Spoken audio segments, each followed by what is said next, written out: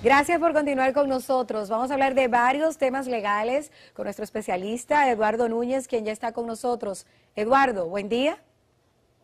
Muy buenos días. Hola Ezequiel, hola Rosa, hola Ricardo. Buen programa el de hoy. Gracias. Vamos a empezar con lo que tiene que ver con el corredor de la Núñez y los corredores. Ayer tuvimos aquí en la entrevista central a Ubieres. Él mencionaba algunas irregularidades legales y ha dicho que va a llevar el corredor de la Núñez a la justicia. Habló de que no hubo licitación. Buen día. ¿Cómo están? Eduardo. Sí, perdóname, no, no, no se escuchó. Ah, ok. Eh, Hubieres estuvo aquí ayer en la entrevista central y él hablaba de las irregularidades que hay detrás del corredor de la Núñez y los demás corredores con relación a sacar la onza, de que no hubo licitación, de que hay también un legislador y un funcionario público que son parte de esos servicios que se van a ofertar. Legalmente, ¿hay tema ahí? Sí, hay tema. Sucede algo. Hay grandes sectores que se clasifican como sectores de interés general eh, tradicionalmente llamados servicios públicos, en donde el Estado tiene un interés especial porque son imprescindibles para que la convivencia humana sea posible, es decir, el agua, la energía eléctrica y naturalmente el transporte. Si el Estado decide que va a licitar esas rutas, naturalmente puede hacerlo, permitiéndole la participación a todo aquel que cuente con el mérito y con las condiciones para, para intervenir en esa licitación. Ahora bien, si el Estado decide que va a asumir él mismo el servicio público para brindarlos a los ciudadanos eh, de una forma más barata, más eficiente, más efectiva, también puede hacerlo, sobre todo por la cláusula de Estado Social de Derecho que tiene nuestra Constitución. Eduardo, ¿y hay eh, alguna ley específica o simplemente nos tenemos que remitir a la ley de contrataciones públicas para la licitación o la concesión de una ruta específica de transporte colectivo? Ahora mismo el ordenamiento jurídico dominicano cuenta con varias posibilidades, no solamente con la ley de contrataciones públicas, que es, por decirlo de alguna manera, el derecho común de todas las contrataciones del Estado dominicano, pero recientemente se ha adherido a nuestro ordenamiento jurídico la, ley de asociaciones de alianzas público-privadas, que también podría ser una posibilidad en la cual un ente privado presente un proyecto, como es un servicio de interés general, es un servicio social, el transporte público, un ente privado podría presentar un proyecto en el cual eh, se, se modifiquen varias rutas, se mejoren varias rutas. Una vez presentado el proyecto, se llamaría a todo el que quiera participar y el Estado a esos que participan escoge uno, escoge dos y le da las rutas alimentadoras. Pero no es, debo dejar claro que no es cierto que si el Estado quiere manejar el transporte público, no puede hacerlo. Porque, vuelvo y repito, es, no es siendo un Estado social de derecho. Ideológicamente yo no estoy del todo de acuerdo, debo de decirlo, pero no es lo que ideológicamente a mí me interesa, es lo que diga la Constitución siendo un servicio de interés general, siendo un servicio social, el Estado puede brindarlo. vamos, a, poner en contexto dos cosas importantes. Eh, primero, igual que eh, Eduardo, hay cuestiones que a mí no me cuadran en la alianza público y privada. Y, y, yo, hay cosas del neoliberalismo que no la, no la digiero.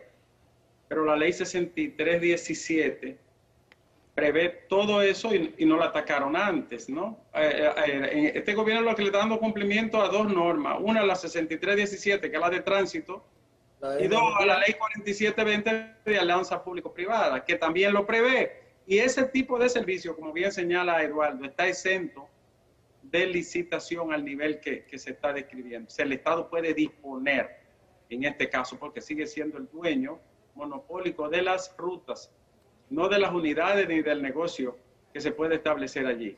Puede tener participación, pero el dueño de las rutas sigue siendo el Estado. De manera que debieron de atacar la ley 6317 y la 4720, porque son solo le está dando cumplimiento a eso. Se me, se me queda un pequeño detalle ahora de lo que menciona Ricardo, Ezequiel.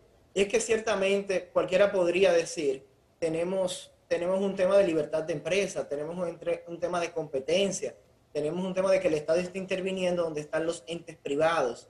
El gran problema es que con la cláusula de Estado social, con los servicios de interés público, con los servicios de interés general, el Estado dominicano puede hacerlo. Habrán personas como yo que no estamos de acuerdo, pero la Constitución lo dice tajantemente, o sea, no hay espacio para mayores discusiones. y hay otro Eduardo, elemento, Eduardo. y el tema de Hay otro que... elemento, Rosa. No, el otro elemento es que los dueños de la ruta hoy en la realidad son los mismos sindicatos.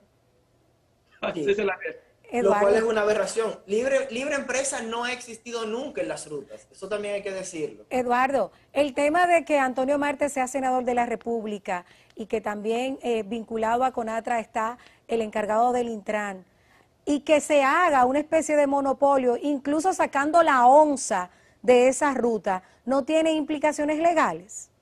Claro que sí, de hecho, siendo senador, siendo senador de la República, la, incompatibili- la incompatibilidad es clara por letra de la Constitución de la República. No puede participar en, ningún, en, en ninguna otra actividad más allá de su, de su, de, de su competencia legislativa. Lo- lógico que hay una discusión, es un tema serio.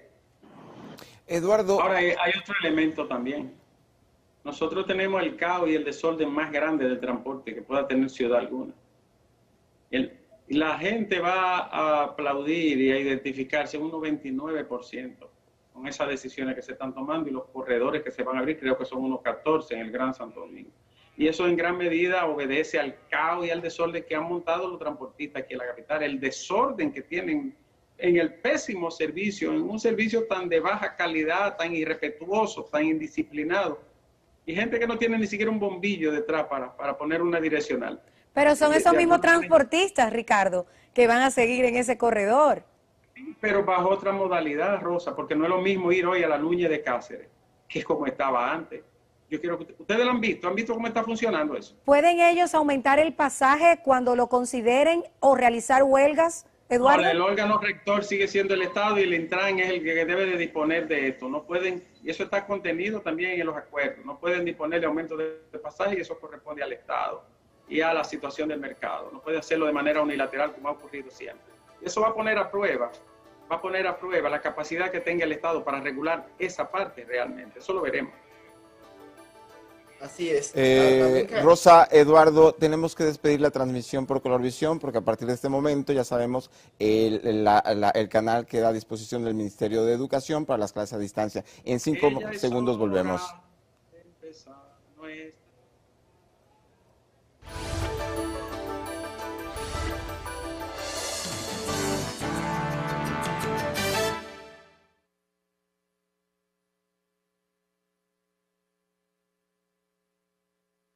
Gracias por continuar con nosotros. Estamos hablando de la nueva ruta del transporte, bueno, no es una nueva ruta, del corredor de la Núñez de Cáceres y las implicaciones legales que tiene eh, que un senador de la República sea parte de esta, de esta, de este corredor. Está con nosotros Eduardo Núñez para, darnos un poco de luz en materia legal. Eh, Eduardo.